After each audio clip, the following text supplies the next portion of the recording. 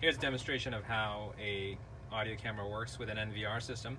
I have a camera here to my right hand side and I'm waving my hand on it. You can this you can see the video but you can't hear anything. It is a camera with a microphone.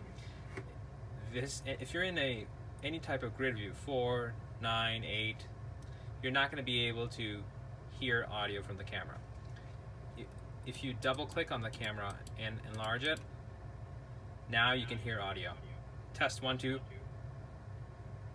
Test one, two, three. So you can actually hear me snapping my fingers. So that tells you the mic is working and the speaker output. But once I go back into a grid view,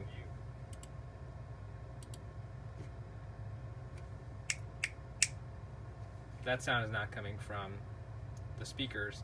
It's actually just from the real live action you're hearing with my finger snapping next to the camera. So that's to show you when you're in a grid view, you're not going to hear any audio, only when you make the camera full screen. The only exception is when you're in an 8 channel view, the first channel, you can actually hear audio on. Thanks for watching.